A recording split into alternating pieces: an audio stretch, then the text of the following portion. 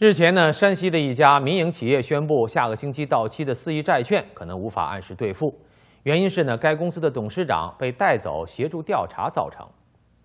七月十六号，山西民企华通路桥集团发布公告说，由于企业董事长王国瑞仍然在协助有关部门进行调查，不能返回企业主持工作。七月二十三号到期的四亿短期融资债券兑付存在不确定性。市场观点认为，由于本期短期融资没有担保，如果不能如期兑付，这期债券将成为中国首宗本金违约的债券。公开资料显示，华通路桥集团已经成为一家集道路、桥梁、房建、地产、煤炭资源、环保建材、农业、餐饮为一体的综合型大规模企业，注册资本十五亿，年产值近百亿，下设房产、环保等近二十家子公司，及路桥、建安、机械施工、装饰建材及建材研究所等二十多个分公司。公司董事长兼总经理王国瑞作为公司实体控制人，持有公司股权百分之六十点二五，是公司经营决策、资金筹措及资金调度的总负责人，屡屡跻身胡润百富榜。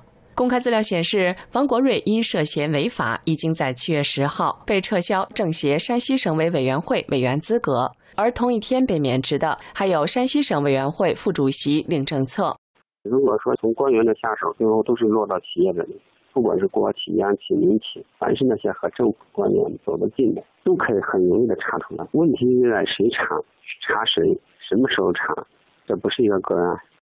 原四川首富刘汉和中续系的实际控制人吴斌及商人米晓东等巨富和所谓的民营企业家们，都被大陆官媒称为是给原政法委书记周永康洗钱的白手套。根据华通路桥官网介绍，华通路桥集团列山西省百强企业第三十名，被中国农业银行山西省分行评为 AAA 级信用度企业。集团商标被评为山西省著名商标。中共山西省委组织部曾经授予这个公司“全省创先争优先进基层党组织”称号。华通路桥还先后获得山西省优秀企业、山西省功勋企业、山西省五一劳动奖状等一百多项所谓荣誉。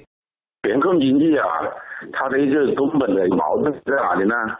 主要的经济活动呢都是被政府管制的，它是通过一些官员来执行的，所以他们就会收取贿赂。人家不给贿赂，他还不批，不放松控制的话，不把这个管制权呢、这个控制权放到市场去。但是你要要反贪，这个经济就会垮掉。中国全控经济的情况下，贪污腐败是它经济发展的一个很重要的动力。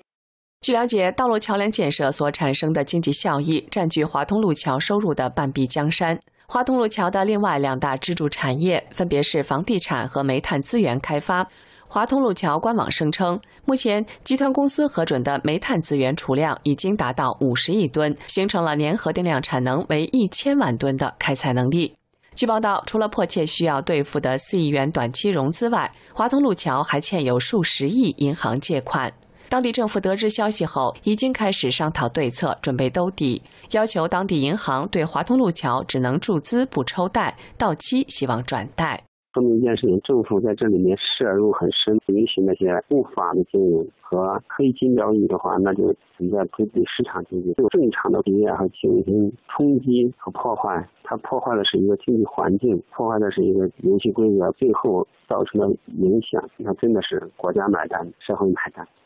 而面对发行人如此巨大的变故，评级公司却反应有些滞后。今年六月二十七号，负责债券评级的联合资信给出的跟踪评级还维持原来的评级，债项为 A 一的评级，主体评级 AA 减，评级展望为稳定。